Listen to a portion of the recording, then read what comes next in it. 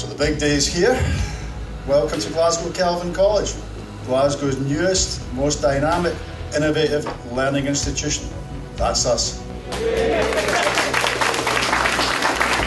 This is a great milestone in the development of uh, college education in Glasgow, indeed, education in Glasgow.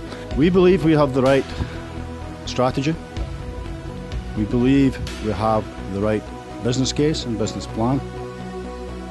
And we believe we have the right people. So this college offers real opportunities, not just the opportunities that come as a result of what the three colleges did, but new opportunities as well.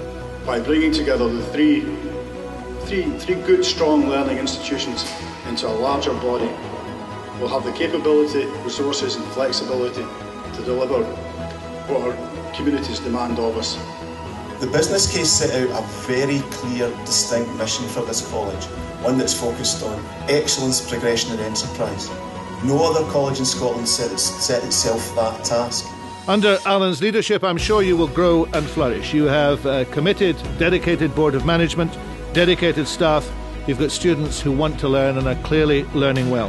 And I think it's today when you look around, see the college, see the students, see the dynamic, then you know that you're making some real progress.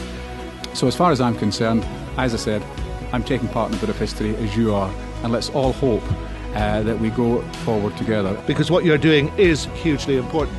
It is a tribute to the work that has gone before, and it will produce enormous success in the future. Congratulations. We have an opportunity and a unique opportunity to create a new college.